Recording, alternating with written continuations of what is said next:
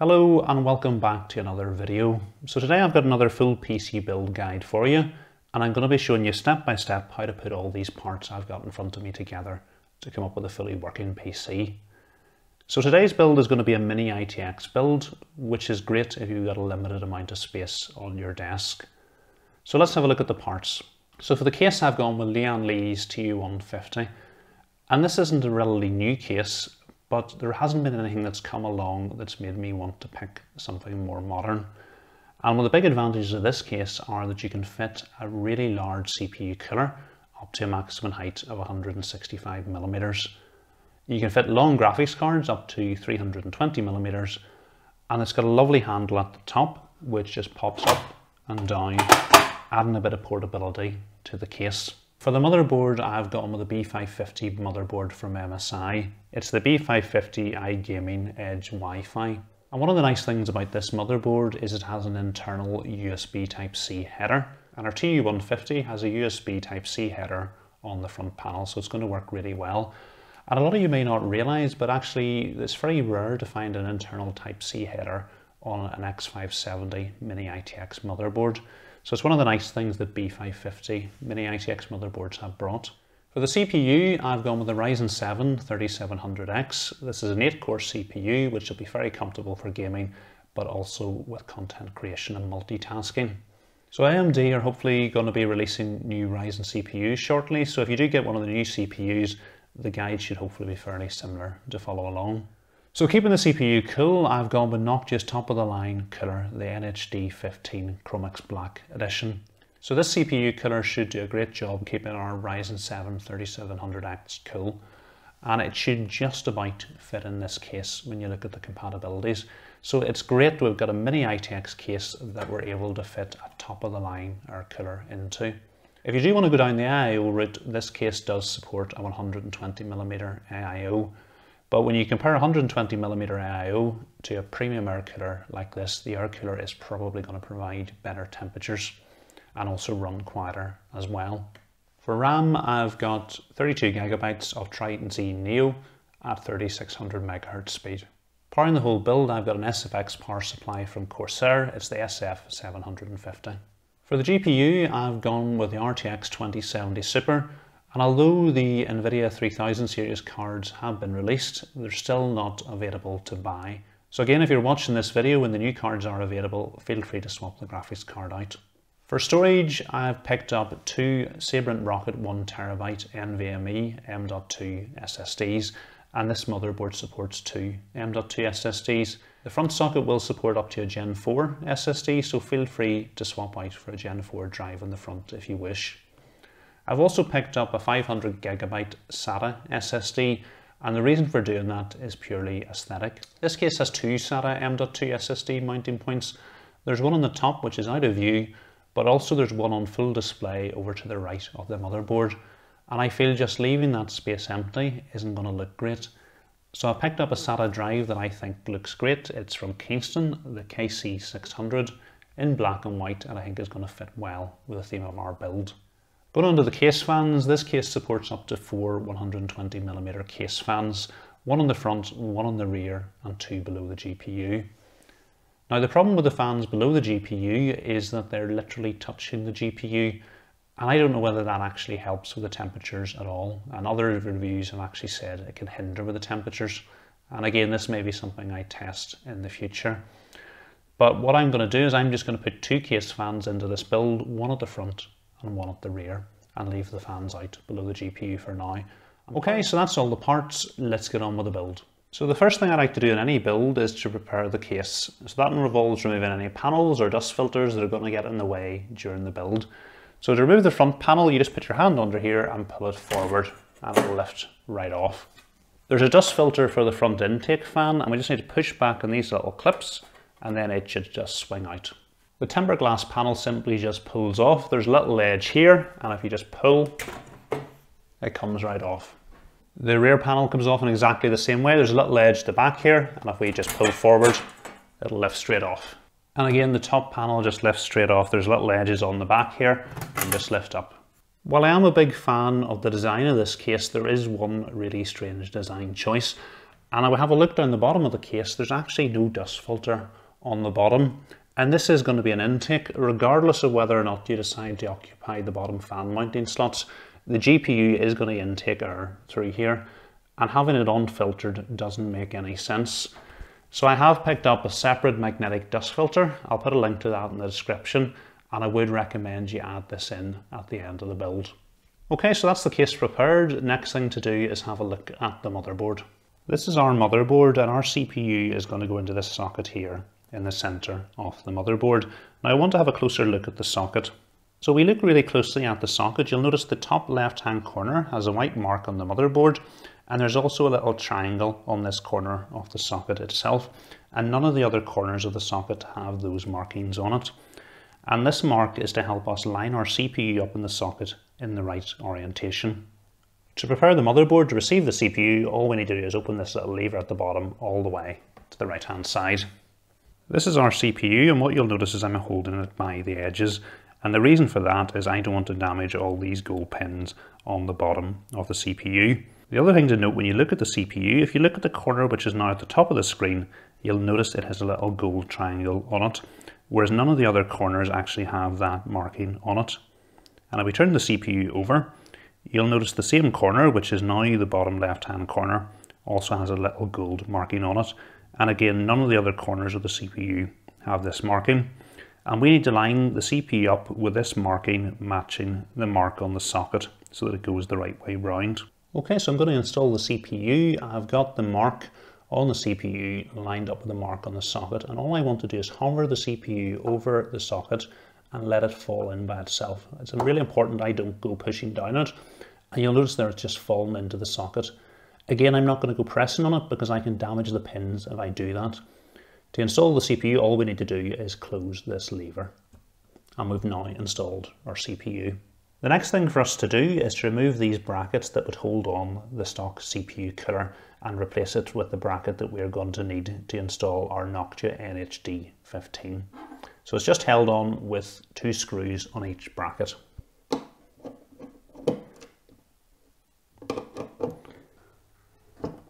Importantly, don't throw these away or lose them because if you want to change your CPU cooler in the future or sell your motherboard, you're going to need them. So the best place to store them is in the motherboard box.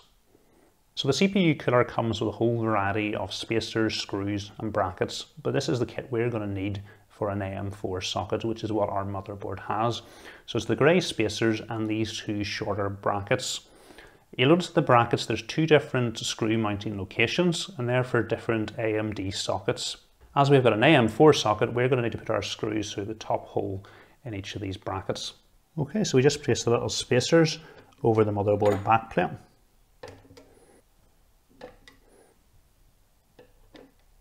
Okay, and then it's just a matter of putting the screws into the bracket, making sure they're going through the top hole. And then we just need to line the screws up with the motherboard backplate.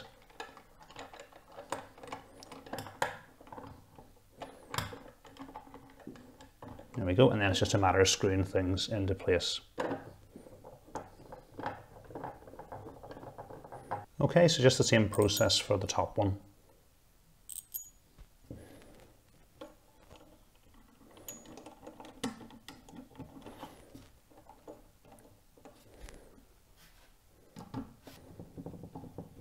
So if we were to go ahead and install our CPU cooler, because it's quite a big cooler and a small motherboard, it would actually cover the whole of the motherboard.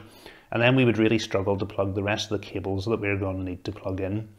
So we'll do everything else we need to do with the motherboard, get all the cables plugged in, and putting the CPU cooler on will be one of the last things that we do.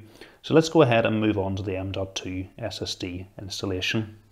So this motherboard has two M.2 SSD sockets. There's one behind this heatsink and we also have a second one just here on the back of the motherboard. So you'll find with most motherboards that the M.2 SSD sockets aren't created equally and it's exactly the same on this motherboard. The one on the front supports Gen 4 speeds while the one on the back only supports Gen 3 speeds.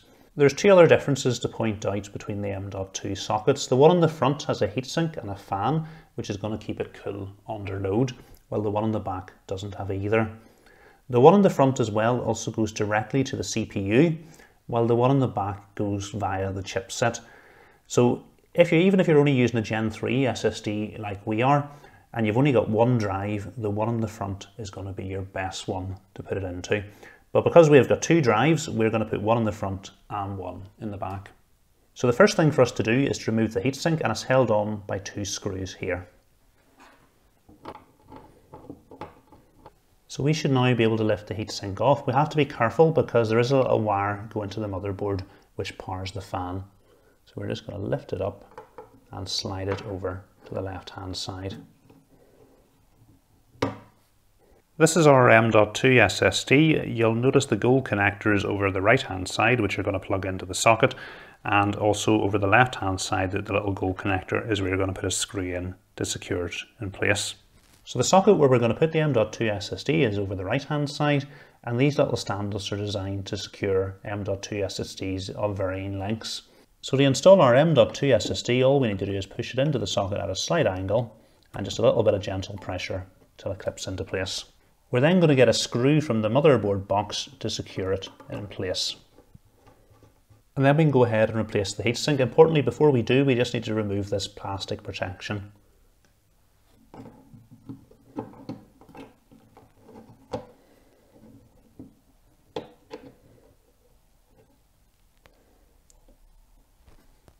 Then it's just a matter of resecuring it with the two screws that we've taken out previously. And then the process on the back of the motherboard is just the same. So we're going to insert our drive at a slight angle to the socket and then secure things in place using one of the screws that came with the motherboard. The next thing for us to install is the RAM and it's going to go into these two sockets here. This is our RAM and it's going to plug into the motherboard sockets with the gold connectors on the bottom. So you've got two gold connectors at the bottom. What's important to note is they're not of equal length. The one over the right hand side is slightly longer than the one over the left hand side. So it's important we line the RAM up the right way when inserting it into the socket. To prepare the motherboard to receive the RAM, we just need to open these little clips on each of the slots. Then it's just a matter of lining the RAM up with the socket. And once we're happy everything's in place, just applying some firm pressure to the top of the RAM and I should push and lock into place. You notice this little clip has now closed. And it's just the same process with the second stick of RAM. We're going to line it up with the socket. Once we're happy with things, just apply a bit of firm pressure and again it pushes down and locks into place. Okay, so we just need to line our motherboard up with the cutout in the case for the I.O. shield and this motherboard has the I.O. shield pre-applied which makes installation that wee bit easier and then we hold it in place here and try and get a screw into it. So this is much easier if you lie the case on its back but again you won't get a very good view of things if I do that so that's the reason I do it this way around.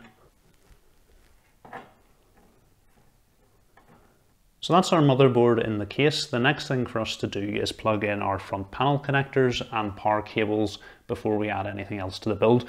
And the reason for doing that is the more we add in, the more difficult it becomes to plug the cables in at a later stage. So you're much better to do these right at the start. So we're going to make a start with the case cables and these cables coming from the front I.O. panel are the case cables.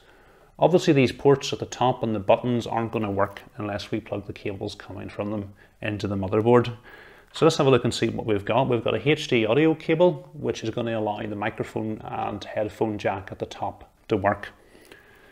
We've got a power switch and reset switch cables, which are going to let the power and reset switches on the top of the case work. We've got a USB 3.0 cable, which is going to let the two USB Type A ports on the top of the case work. And then we've got our USB 3.1 Type C cable, which is going to let this Type C port on the top work. So we'll go ahead and get these plugged in. So our power and reset switches are going to go into this header here. It has five pins along the bottom row and four pins in the top row. And you need to refer to your motherboard manual for the diagram to find out which of the pins each of the cables is going to plug into. So looking at the diagram in the motherboard manual, the reset switch is going to go in the bottom row in the pins third and fourth from the left. And it's the negative pin first and then the positive pin. The power switch is going to go in the top row of pins, third and fourth from the left, but it is positive in the third pin and then negative in the fourth pin. So when you're routing your cables through the case, it makes sense to bring them through the closest cutout to the header you're going to plug them into. So it makes sense for us to bring our cables in through here. Again, when you're plugging these cables in, another tip, start on the bottom row and plug the cables in first before moving up to the top row. Because if you start at the top row, it's much harder to see what you're doing in the bottom row. It blocks your view. Okay, so we're going to make a start with our reset switch because it's the one in the bottom row. So if I turn it round, what you'll notice is the pin on the left hand side has a little arrow on it.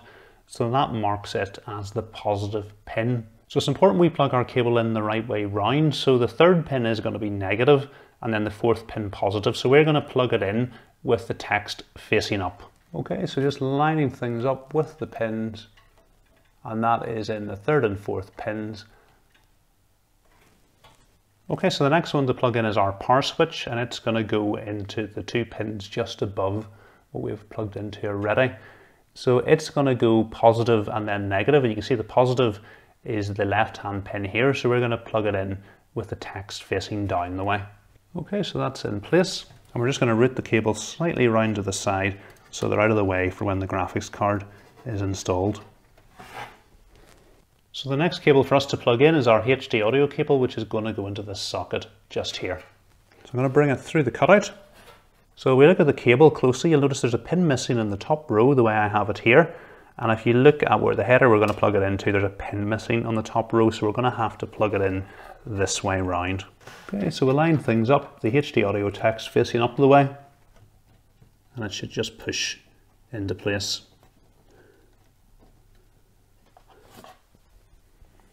Our USB-C cable is going to plug into here, so we'll bring it through this cutout, line things up,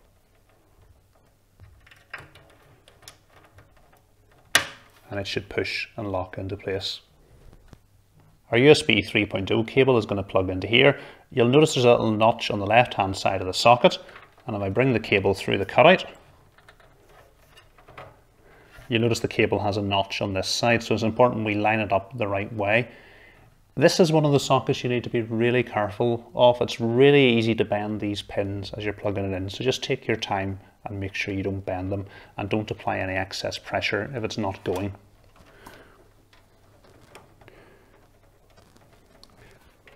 Okay, and we'll tuck the excess cable out the back.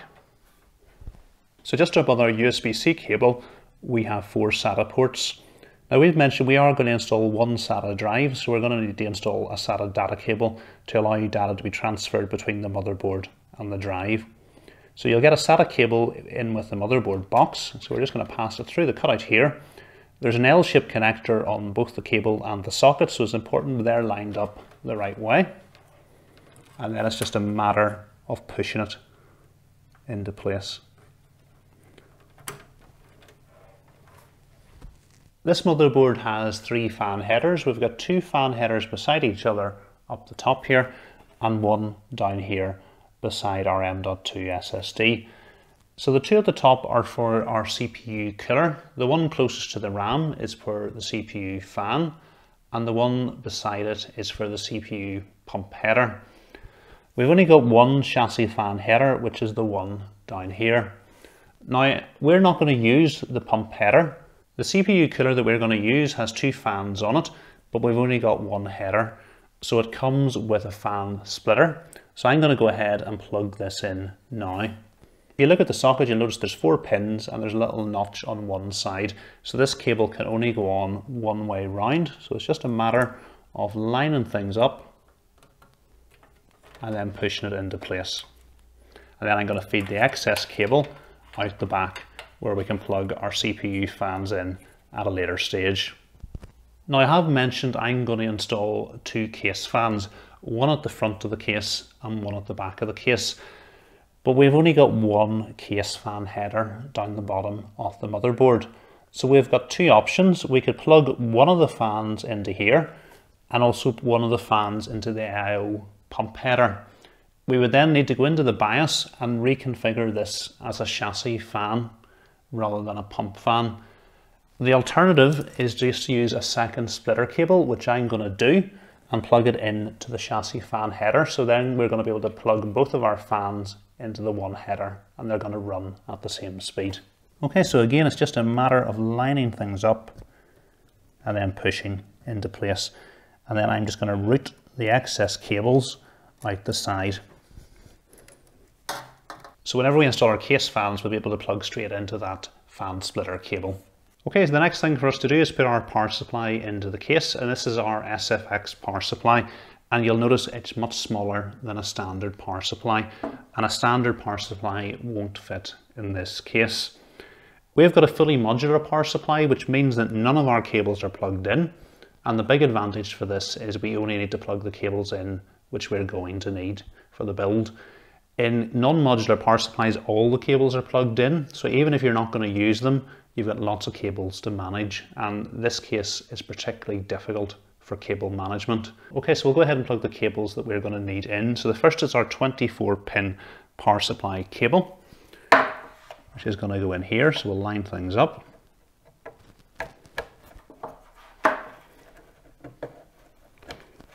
We're going to need one 8 pin connector for the CPU. It says type 4 on the one end and the other end says CPU, so don't mix those up. The type 4 is going to go into the power supply. So we're going to plug this into the bottom row. As our graphics card only takes one 6 pin and one 8 pin connector, one PCI cable is going to do us, so we'll plug that into the next slot along. And then the last cable we're going to need is a SATA power cable. So we'll go ahead and plug this into here. So a question I'm often asked when it comes to the SATA power cable is you'll notice this cable has four different connectors on it and people ask me which one of these should I use. The answer is it doesn't matter. Each of them is equal and will provide exactly the same amount of power. So we can actually power four drives with this one cable if we wanted to. We're only going to need to use one of them because we've only got one SATA drive for the build. Okay, we'll go ahead and get the power supply into the case. Okay, so our power supply is going to go in the top right hand corner of the case. Important to note, the top panel is solid and as our power supply has an intake fan, we want to install it with the fan facing down into the case. If you install it the wrong way around and the fan's up against the top, you're going to have problems with overheating. Okay, so all we need to do is slide this into the top here and then we just need to secure things in place with the four screws that come in our motherboard box. So the case does come with a power cable extension on it, so we need to go ahead and plug this in.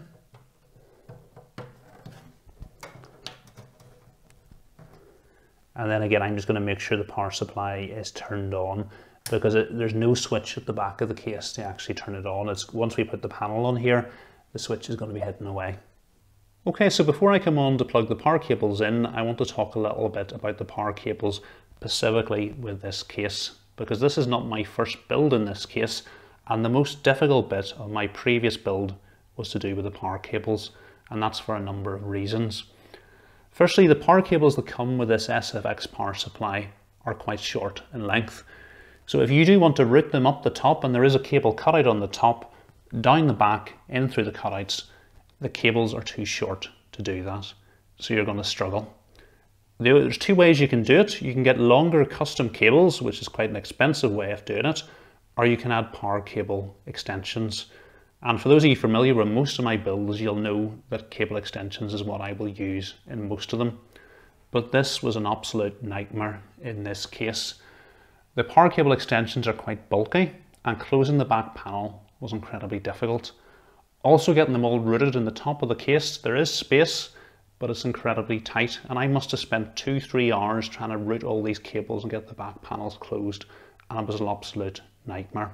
And in the end, I had to route a lot of the cables in the case rather than bringing them through the ideal cutout closest to their individual socket. So I think if you do want to go down the custom cable route, you're much better going with full custom cables than you are with cable extensions. The other thing, if we have a look at the front panel of the case, you'll notice there's a little dark cutout, and this is designed to hide the cables coming from the power supply. So Lian Li aren't expecting you to route all these power cables. They know you're going to use an SFX power supply with short cables, and they aren't expecting you to route all these cables out the back and back in. They're designed to be routed directly from the power supply in the main case to their headers. And this dark tint on the tempered glass panel will hide the cables. Okay, so the first cable that I'm going to route is our CPU power cable, which is going to plug into this header here. So what I'm going to do is I'm going to route it through this first cutout here. Bring it back in this one. And then plug it into this header on the top left hand side of the motherboard. It's important that I line the notches up correctly on the cable and on the socket. There we go, so it's clicked and locked into place. Okay, the next thing for us to plug in is our 24 pin power supply cable, which is this one here, and it's going to plug into this socket here.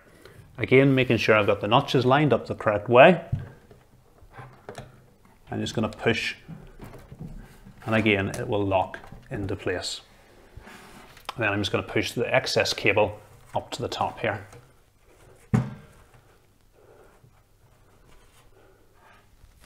So we are going to plug this cable into our graphics card, which is going to be down here. So that's fine where it is for now. Which means the last cable for us to route is our SATA cable. So this one, I know from previous, it will reach if I route it up the back, down, and coming back in through this little cutout to where our cable is going to go. Okay, so I'm just going to route this cable up the top of the case.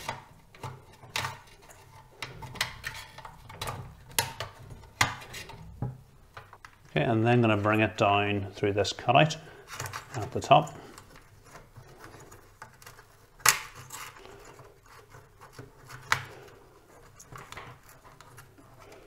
And then I can route the cable down here and in through here. So it's going to plug into our SSD on the other side. So we've got the two cables we need for our SSD, so let's go ahead and get it installed. Okay, so this is our SATA SSD, and before we go ahead and install it, I want to point out a couple of features. Okay, so what you'll notice is there's two gold connectors on the top of the drive. They're both L-shaped. There's a long one and a short one. So the short one is for our SATA data cable, so this is where the cable that we plugged into our motherboard is going to go, whereas the long one is for the SATA power and this is going to go from the cable coming from our power supply. Okay, so our drive is going to be secured in the case with these rubber mounts and screws which we're going to come with our case. So we feed the screw into the rubber mount and I'm just going to tighten it very loosely for the moment and we'll tighten it up later once we install the drive into the case. So there's just one for each corner. Okay, we'll go ahead and get the drive into the case. Okay, so this thumb screw here holds the drive in place, so we're just going to go ahead and remove it to start with. Okay, and then our drive is just going to go in through these slots here and the little rubber connectors are going to hold it in place.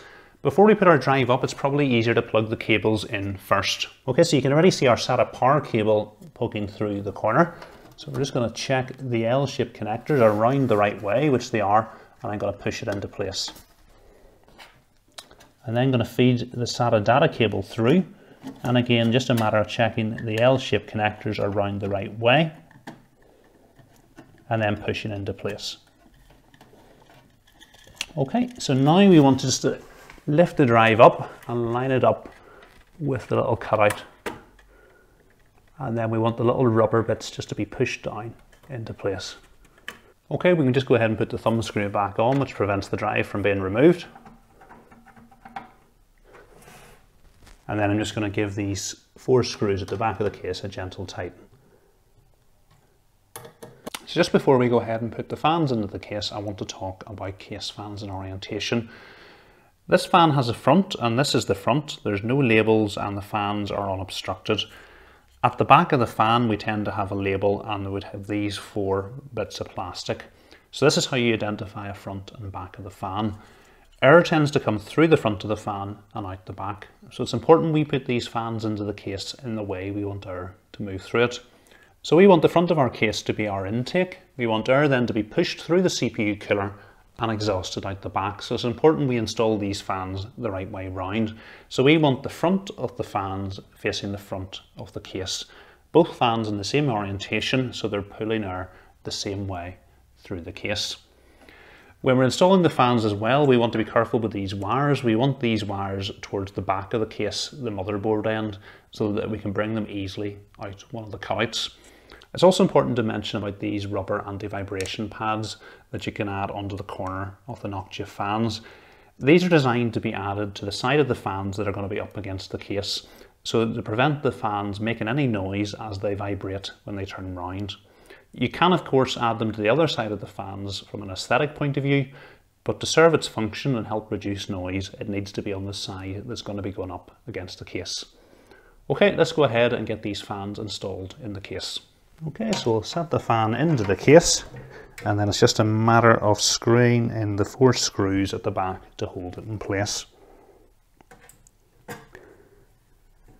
And again, you don't want to over tighten these screws. If you over tighten them, they can make the fans quite noisy as they bend the fans out of shape so if you do have a fan that's noisy, it's worth readjusting the screws and the chances are that will hopefully settle things down for you. Okay, and we now can feed the cable coming from the fan up the top and out the back of the case. Okay, so just the same process with the fan at the front, feed the cable through the cutout. Line the fan up with the holes at the front of the case and secure it into place with the four screws. So now we've got the little fan splitter that earlier on we had plugged into the chassis fan header on our motherboard. So all we need to do is plug each of the fans into the splitter. So there's one and two. We're now ready to install our CPU cooler, so we just need to apply a little bit of thermal paste to the center of the CPU. So I normally apply a pea-sized amount, and then whenever we tighten up the CPU cooler, it's going to spread this to cover the whole of the CPU. So next we just want to line the heatsink up with the bracket which we installed earlier on and then we can go ahead and screw things into place. And again I'm just tightening one side a little bit and then the other side a little bit.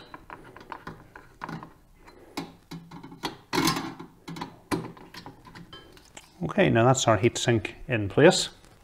Okay, we now just to put our fans onto the heatsink. It's important we put the fans the right way round. The first thing I'm going to do is start by passing the fan cable out the back of the case because once the fan's in place it's going to be much harder to feed it out the back. Okay, that's the cable out the back.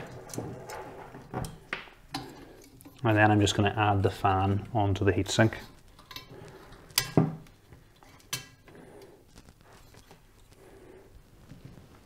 So we've got these little metal clips which are going to hold it in place. So I just pull it to here. That's the the bottom locked in place and I'll do the same with the top. So that's our fan now nicely secured onto the heatsink. And it's just the same process with the second fan in the middle. So again, I'm going to start by passing the fan out the back.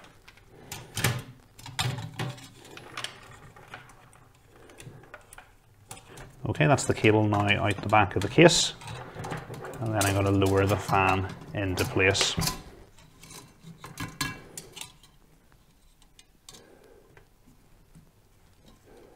Just lining it up with the same position as the other fan and securing it with the metal clips at the bottom and then the same again at the top. We can now go ahead and plug each of the fans into the fan splitter cable that we plugged into the CPU fan header earlier on.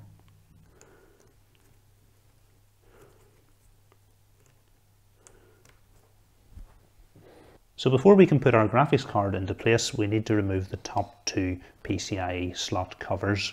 The first step is to remove the thumb screw and remove the little bracket. That, and then we need to unscrew the top two screws here.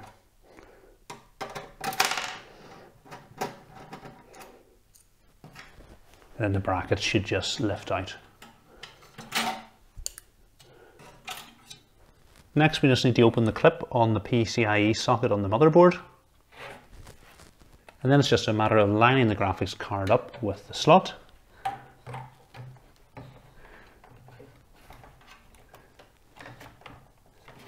Okay, and once we're lined up, we just need to apply a little bit of firm pressure and it should lock into place. There we go. And then we just need to go ahead and secure the graphics card in place with the same two screws that we removed earlier on. And then we go ahead and put the little bracket back on and secured in place using the thumb screw. Next we need to plug in the power supply for the graphics card so it's going to have an 8 pin and a 6 pin. So we'll start off with the 8 pin cable.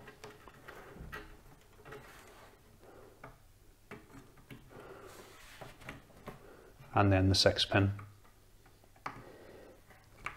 You'll notice we do have one spare 2 pin connector so I'm just going to wrap that in with the rest of the cable and tuck the rest of the cable in behind the front fan keeping everything nice and neat and organised.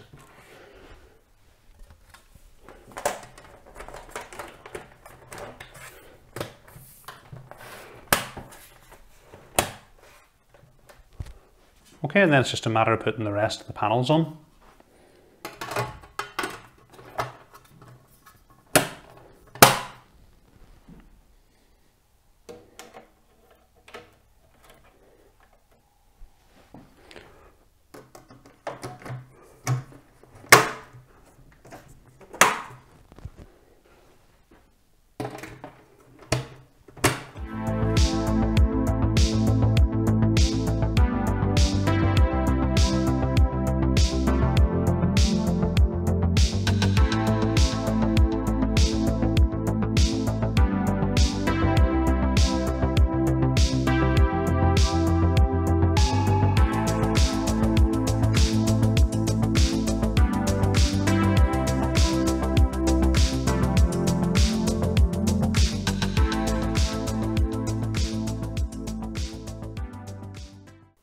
Okay, so that's the build complete. Next thing for us to do is flip the power switch and see if we get a boot screen.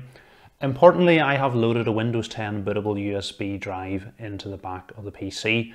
So if you don't know how to make one of those, I'll put a link to that in the description. Okay, moment of truth. Let's see what happens. Okay, so we've got fans spinning, we've got lights. Next thing we're looking for the MSI logo to appear on the screen which we've just got. So that's good. Hopefully the computer is now going to find our bootable drive, uh, which is plugged into the back of the motherboard. And the next thing we should see if it does is the Windows logo starting to appear. It can just take a little bit of time for that to appear. There we go, so we've got the Windows logo, which means because our drives don't have any operating system in them, it means it's found the USB drive in the back of the computer. So we've got the Windows installer appearing. So what I'm going to do now, I'm going to flip over to the screen mode and talk you through installing Windows. Okay, so we're in the United Kingdom, so I'm just going to leave all the sent to United Kingdom and click Next. And we're going to click Install Now.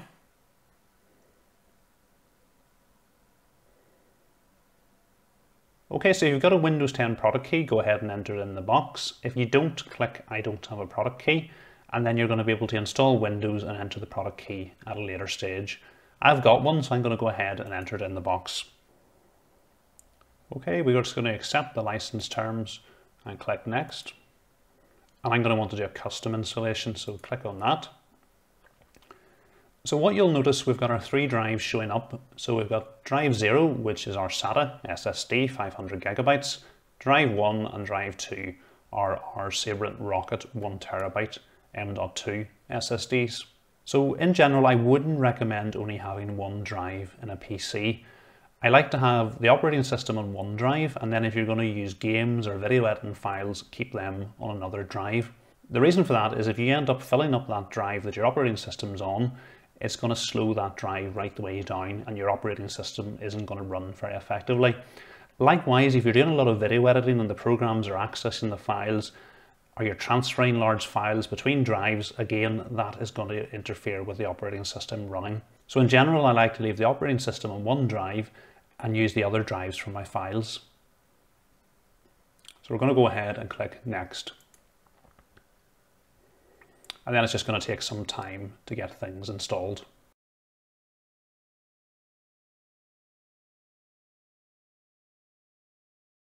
Okay, we're in the United Kingdom, so I'm going to leave that as United Kingdom and click yes. And again, the keyboard layout is United Kingdom, so click yes again. And I don't want a secondary keyboard, so I'm going to click skip. Okay, I'm going to set up for personal use. Again, over the next few pages, there's going to be a whole range of options, and if you have different preferences than me, go ahead and select the ones that apply to you. So click next. So if you've got a Microsoft account, go ahead and put your details in now.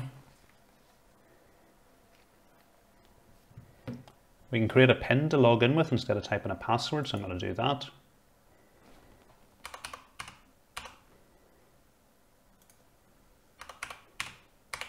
And then click OK.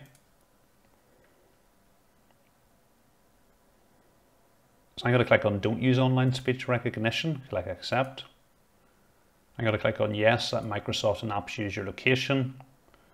I'm going to turn on Yes, Find My Device. I'm going to send just basic diagnostic data to Microsoft. No de-inking. No. And no again. And again, like I've said, if you have different options, go ahead and select them. Do more across multiple devices with activity history. I'm going to click no to that. And I'm going to click do it later. and I'm going to click on only save files to this PC.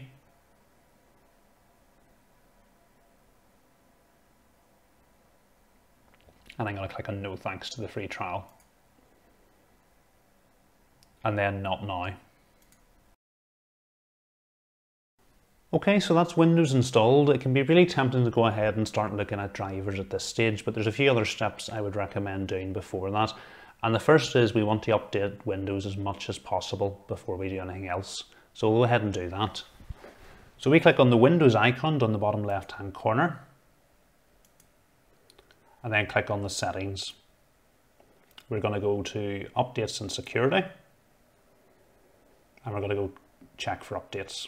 So Windows is going to go ahead and find all the updates available. Our computer is going to need to restart a number of times during this but we're going to keep checking for new updates until there's none available.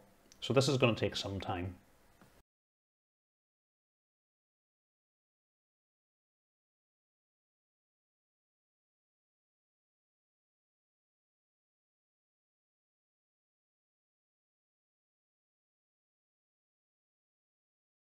Okay, so that's Windows fully up to date. There's no further updates available. So the next thing I like to do is to get all our SSDs to show up because although this build has three SSDs, I would put money on only one of them is showing up. So we'll go over and have a look at that. So I click on our documents folder and then click this PC. What you can see, we've only got one disk, local disk C. So we're going to need to get our other two drives to show up. So to do that and get things to show up in the search box down the bottom, we're going to type in disk management. And it's going to bring up an option create and format hard disk partition. So we're going to click on that.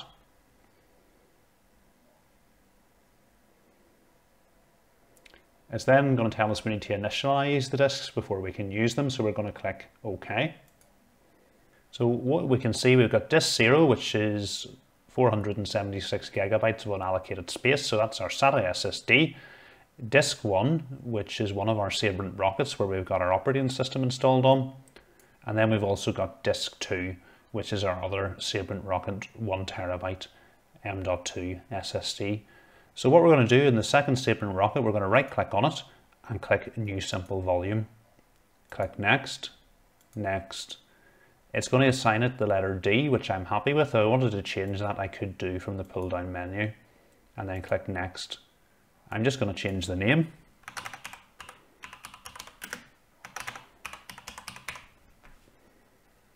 and click next and finish. And then we're going to go up and repeat the same process with disk zero. So right click, new simple volume, next, next. It's going to assign it the letter E, which I'm happy with. So just going to click next. And we're going to call this one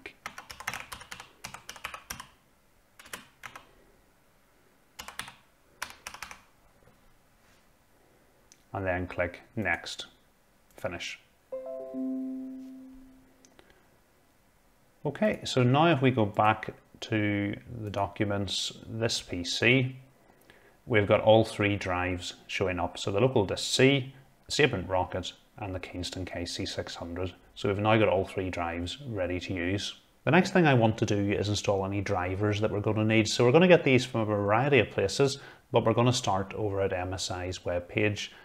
So don't worry about trying to remember the links. I'm going to put all the links that I use in the description.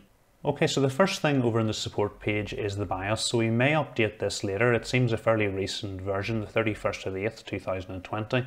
And this motherboard has been out for a while, so the chances are we'll have an older version of the BIOS. So we'll go ahead and download this by clicking on this button here. And we're going to click on Save. Okay, so that's finished downloading. So what we'll do, if we go over to this PC and click on the downloads, and we'll click on the file that's been downloaded. So this is the file that we're going to want here. So I'm going to copy this and go back and put this onto a USB drive which I have plugged into the computer.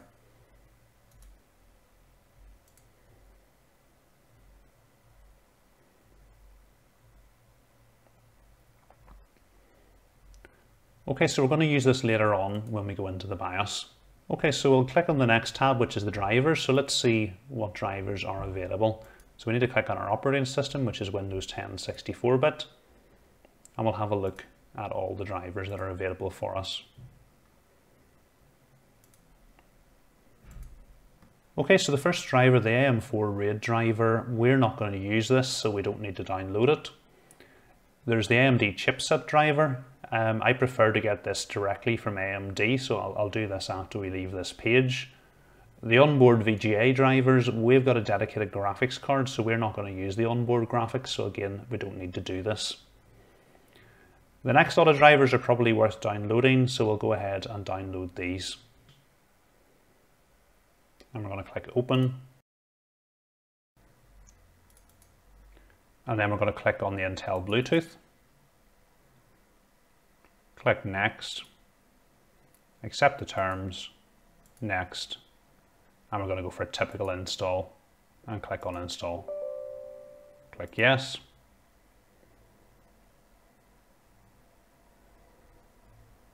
And click Finish. Okay, we'll go ahead and download the Wi-Fi drivers. Click Open.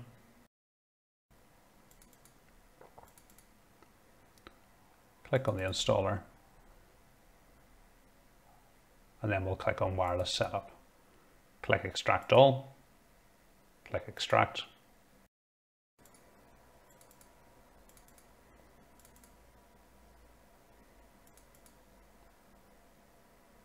And then we'll click on the wireless setup.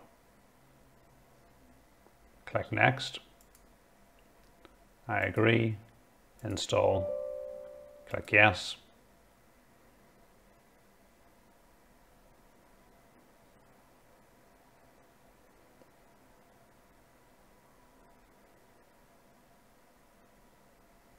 And then click finish. Okay, and we'll go ahead and install the Ethernet drivers as well. So we'll download these, click open.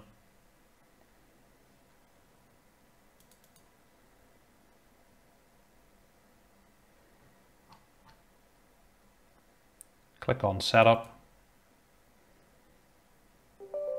Click yes.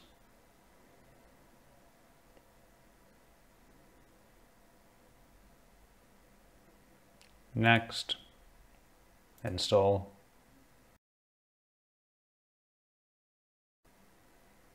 Click finish. Okay, and then we've got onboard audio drivers, so let's go ahead and download those as well. Click open.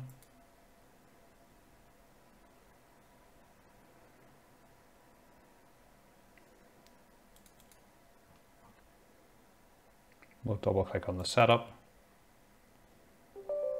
click yes.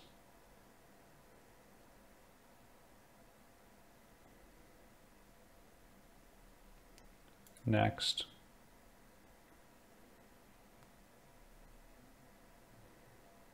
And it says we need to restart our computer, so we'll go ahead and do that now and click finish.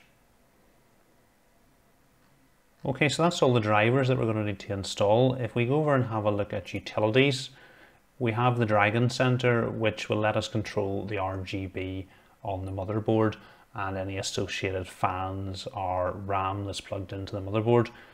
Um, as our fans don't have any RGB on it, and the only thing that I want to change is the RAM, I'm going to get that directly from the manufacturer's website rather than using the motherboard software to change the lighting.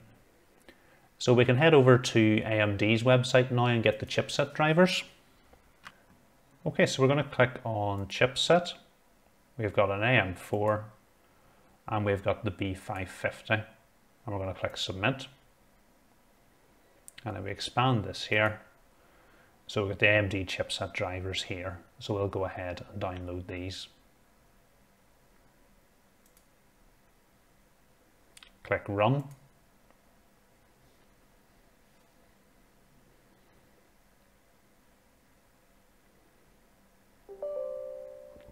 Click yes.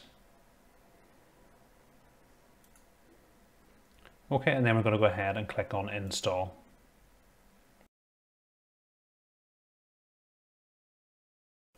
Okay, and then just restart. So as we've got an NVIDIA graphics card, we need to get our drivers from it, from NVIDIA's website. Um, you can get the drivers themselves. I much prefer to download the GeForce experience. So I'm going to go ahead and download this and click run. I'm going to click yes. And then we're going to agree and install. Okay, if you've already got an account, go ahead and put your details in. If you don't, you can create one down below.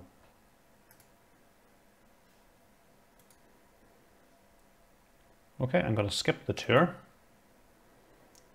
And then what we want to do is click on drivers. And you see the three arrows beside the check for update. If we click on these, you can select which drivers you want to install. So there's either game ready drivers or studio drivers. So if you use your PC mostly for gaming, select the game ready drivers. If you use it mostly for content creation, select the studio drivers. So I use mine mostly for video editing, so I'm going to select the studio drivers. And you see it's got a new version of the studio drivers which we need to download.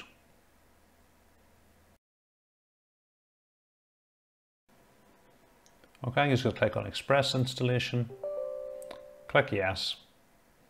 And it'll go ahead and install the drivers for us. So it is normal for the screen to flicker during this installation, so don't be alarmed by it.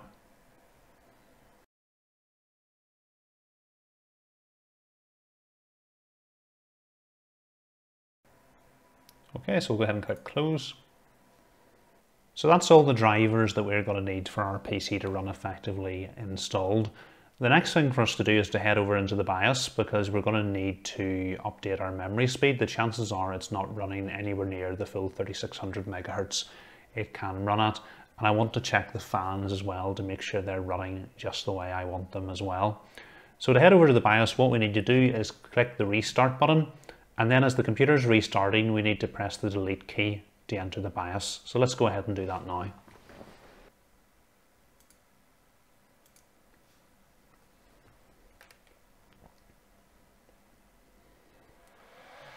Okay, so it's just as the logo appears, you need to press the delete button, but we'll go ahead and start pressing it now just to make sure we don't miss it. So that's us into the BIOS. Okay, so just having a look at the version of the BIOS, the one we have downloaded is slightly later than this, so I'm going to go ahead and update it. Again, it's probably not recommended updating the BIOS because if you do it wrongly, you can brick your motherboard. So you, in general, you should only be updating it if it adds new features that you need or if you're having trouble with your PC. But I want to show you guys how to do it, so I'm going to go ahead and update it. Important, you should update your BIOS before you change any settings in it because when you do a BIOS update, it's going to wipe the settings that you have. So I'm going to click on the M Flash button down the bottom left hand corner and click Yes.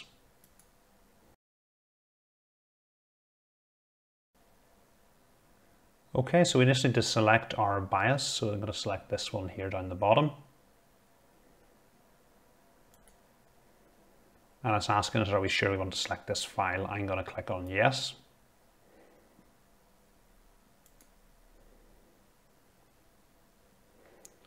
And then the BIOS is currently updating. So it's really important during this, you do not let your PC power down or switch itself off because you risk breaking your motherboard.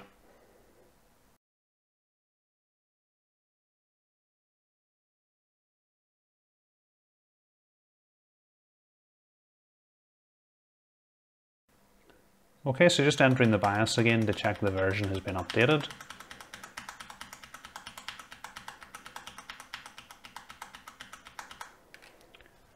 Okay, so we now see the BIOS version is updated to the latest version.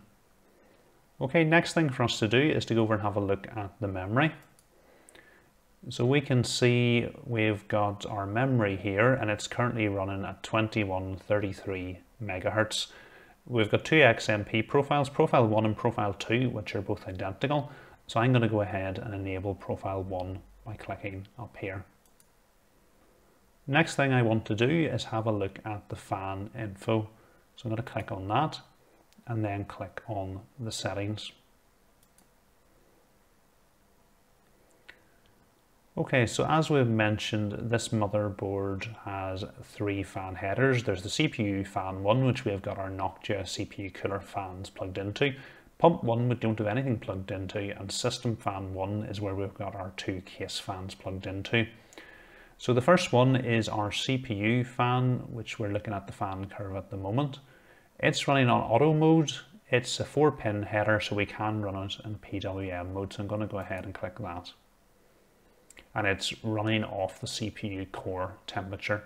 So, need, so no need to change that. We'll go ahead and look at system one. So system one is currently running in DC mode. Both these fans have four pins, they can run PWM, so I'm going to turn that on. And then as well, I'm also going to turn on the, the smart fan mode. And then we'll just have a look at our chipset fan. So again, we've got a whole range of modes at the top that we can adjust it to, um, including a passive mode. So I'm not going to do anything with it at the moment. We can see it's running at the moment at zero revs per minute. So I'm going to see how noisy it is as it runs and then there's options to either turn it up or turn it down based on how it's performing. So we'll leave it as it is for now. Okay, the other thing I want to do is turn off the RGB light control. So I'm going to go and turn it off. Okay, so that's all the changes I want to make in the BIOS. So I'm just going to press the X button again. So we can see a summary of what we've done. We've turned CPU fan 1 from auto to PWM and made it into smart fan mode. System fan 1 is changed from DC mode to PWM. The RGB light we've disabled and we've enabled XMP profile 1. So we're going to click on yes. The computer will now reboot into Windows and we can check and see if the RAM speed is running at what we want it to. Okay, to check the RAM speed, I'm just going to right click on the Windows icon and start Task Manager. I'm then going to click on More Details, click on the Performance tab and click on the Memory. So we can now see our RAM is running at the 3600 megahertz that we want it to, so that's good. Last thing I want to download is the RGB control for the RAM. So I'm going to go ahead and download this here and click Open. Double click on the application click yes, next, next, install. It's going to ask us to restart the computer, so we'll go ahead and do that. Okay, so we can go ahead and open up the program.